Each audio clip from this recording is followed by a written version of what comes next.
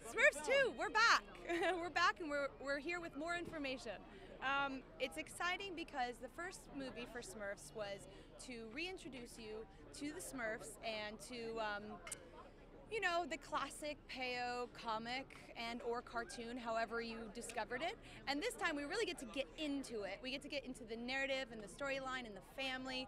And there is that big hovering question, why is Smurfette the only female Smurf? So um, we kind of get into it. She's created by Gargamel, who is the villain, and uh, she's created as a Trojan horse of sorts. And um, all these people around me, it's really hard to find.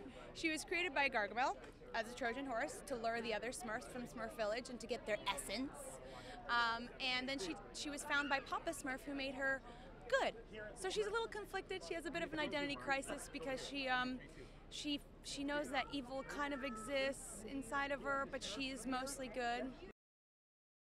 Oh, it's nostalgia. You know, what it's like it makes you feel good, and you go into this film and you uh, go through a very varied emotions. You are happy, you feel for them. Um, it's there's a lot of joyous moments, and uh, I think everyone can enjoy it and be fed.